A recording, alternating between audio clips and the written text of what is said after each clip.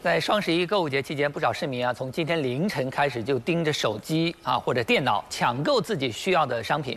那么大家都买了些什么呢？对于双十一这样的购物节，大家又有什么样的看法呢？我们一起来了解一下。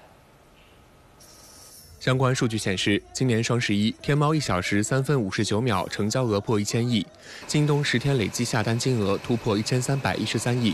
而截至今天凌晨一点，福建省的购买力居全国第九位，其中厦门在福建热买城市排行中位列第二。另外，相关数据还显示，近几年来，大家电、个人护理、数码产品、母婴用品等更受消费者的青睐。日用的衣服、裤子啊，生活用品啊，反正是。都有买，每年都十几二十个包裹。换了手机啊什么的，然后日用品那些都有，剁手剁了可能几千吧。反正没有给自己买多少，都是给孩子买的。不过不少消费者表示，今年双十一玩法比起往年更为复杂，购物津贴。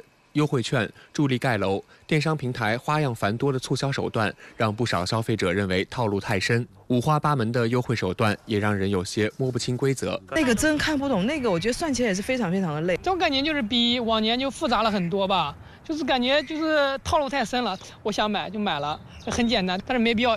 一个规则接着一个规则，接接着一个规则，绕来绕去，我感觉绕都没有意思了。而随着双十一进入第十一个年头，消费者经历多年双十一的实战，消费也是日趋理性。